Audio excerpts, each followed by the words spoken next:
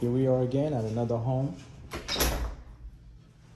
So let me go back from the beginning. So this is the room you said that I would be in when I come from work, right? This is one of the rooms that's a front.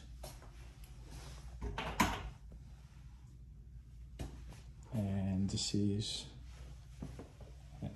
he has his own bathroom.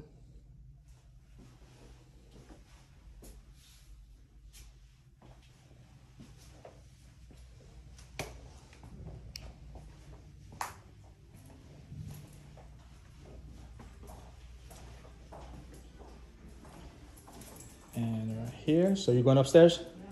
Okay, I'll see you when you get upstairs. And this is a formal dining room. So that leads into the kitchen.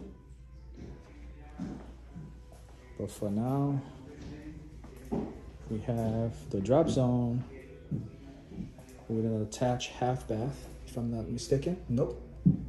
That's the stairs on the, the space under the stairs. That will be the three car garage there. And that's the kitchen. It's a big open space. You can see this is the formal dining room here. So walk into the family room. This is a two-story family room. Right here.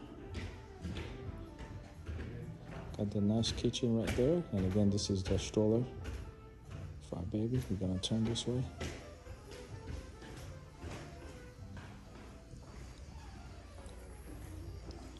Gonna pass the dining room.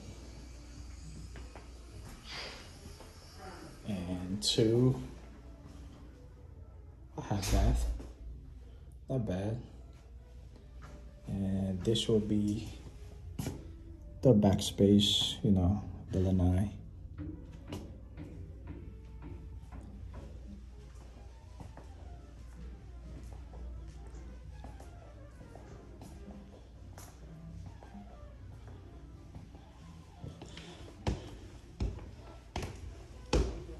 Are you upstairs?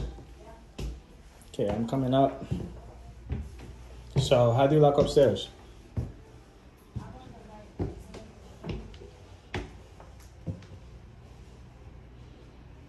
Okay, let's turn left right here. This is the laundry room. And this is a really compact loft. And let's go take a look at the two-story family room. Which is nice all those windows, about six windows, bringing a lot of natural light. And I guess we'll show the master first. This is a very nice size master. Jay, did you see the master yet? Come take a look. It's, it's a very nice size. And you have the French door that leads to to the primary bedroom. Well, primary bathroom. Right here, you have the open toilet with a nice size shower. You have the his and hers sink. Just like I said before, hers and hers or his and his. And you have a decent size closet. Shared. Share closet, yeah. I know that's gonna be that's gonna cause some problem. And